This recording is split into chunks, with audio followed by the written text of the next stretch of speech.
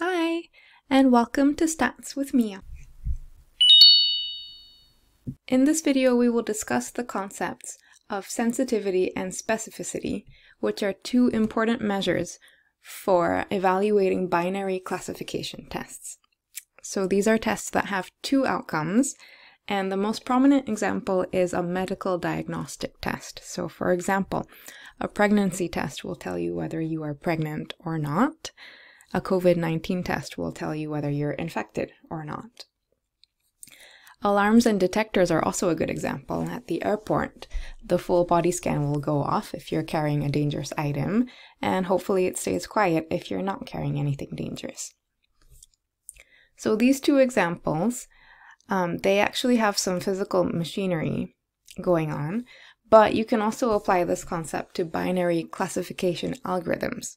So, for example, uh, Netflix might have an algorithm to decide whether to recommend a new movie to you or not, given the data that already exists about your preferences. In all of these tests, there's some potential for making errors, for making some kind of misclassification.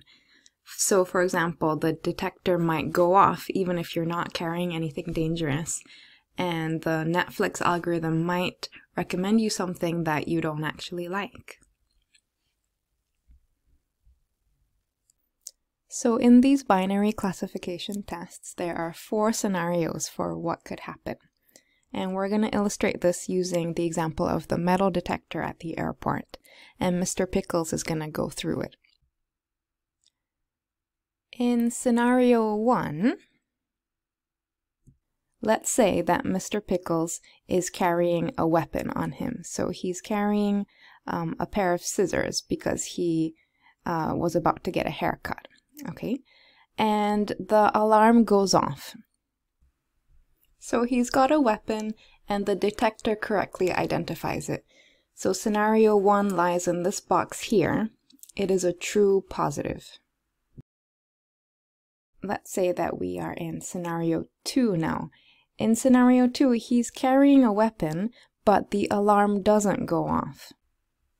So in this case, we call this a false negative. Mr. Pickles is carrying a weapon, but the alarm wrongly tells everyone that he's not. So there is an error here.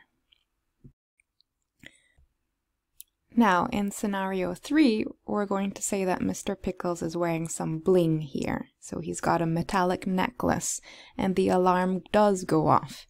There isn't really a cause for a concern, so we would call this a false positive. The alarm goes off, but he's not really carrying a dangerous weapon, and there's an error here. In scenario 4, he just comes as he is. He's not carrying anything metallic and the alarm doesn't go off. This is what we call a true negative.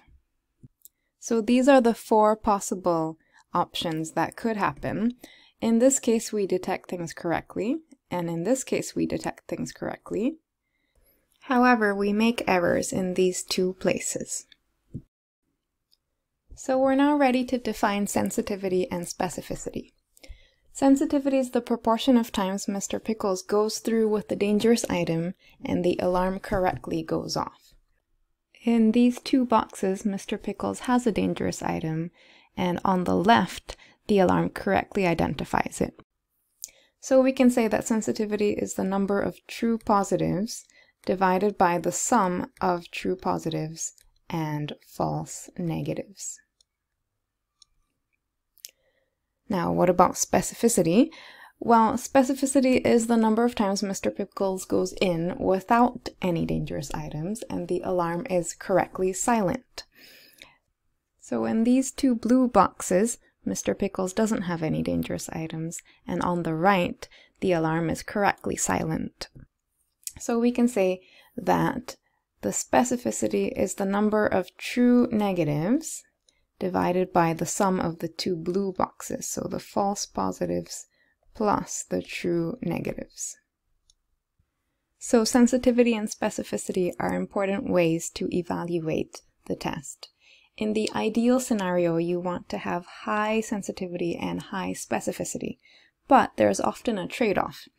If you want high sensitivity for your airport detector, so that you don't let through any dangerous items, you may find that the alarm goes off for benign metallic items. So the sensitivity will be high, but the specificity will not be quite as high. Let's go through an example where we actually do the calculations. Let's say that you're interested in the COVID-19 throat swab test and you conduct this test on 200 people. And let's say that with a longer follow-up of the patients and using more sophisticated testing, you can actually determine whether the throat swab test correctly diagnosed the patients.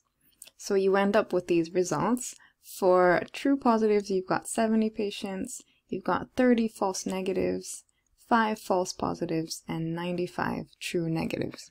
So what's the sensitivity and specificity of this test? Well, for sensitivity, we've got 70 true positives divided by uh, 70 plus 30 false negatives. So that gives you a sensitivity of 0.7 or 70%.